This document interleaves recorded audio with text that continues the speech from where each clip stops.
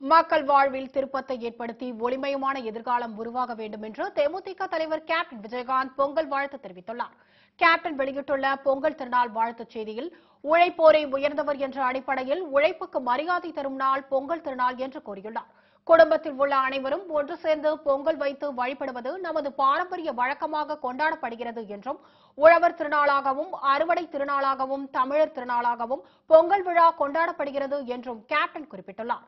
நெற்றி வியர்வை நிலத்தில் விழ பாடுபட்டு பலனை அனுபவிக்கும் நாள் பொங்கல் திருநாள் என தெரிவித்துள்ள அவர் அறுவடையான நெல்லை கொண்டு முதல் பொங்கல் வைக்கும் மகிழ்ச்சிகரமான நாளாகும் என்றும் அதனையொட்டி துணை நிற்கும் மாட்டுப் பொங்கல் உலக பொதுமறை தந்த திருவள்ளுவர் நாளாகவும் கொண்டாடப்படுகிறது என்றும் கூறியுள்ளார். அதன் பின்னர் காணும் பொங்கல் தொடர்ந்து விழாவாக கொண்டாடப்படுகிறது என கேப்டன் தெரிவித்துள்ளார். இவ்வாறு சமுதாய நலனை அடிப்படையாக கொண்டு அனைவரும் கூடி மகிழ்ச்சியோடு கொண்டாடும் நாள் பொங்கல் திருநாள் என அவர் குறிப்பிட்டுள்ளார். பொங்கல் திருநாள் என்றாலே விவசாயிகள் அதிகமாக கொண்டாடப்படுவார்கள்.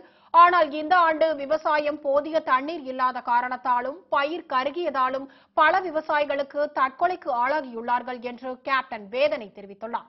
இந்த பொங்கல் திருநாள் மக்கள் வாழ்வில் திருப்பத்தை ஏற்படுத்தி ஒளிமயமான எதிர்காலம் உருவாக வேண்டும் என்றும் பழையன கழிதலும் புதியன புகுதலும் இயற்கையின் நியதி என்பது போல் கடந்த ஆண்டு நடந்தது நடந்தவையாக இருக்கட்டும் இனி நடப்பது மக்கள் வாழ்வில் நல்லவையாக இருக்கட்டும் என்றும் அவர் கூறியுள்ளார்.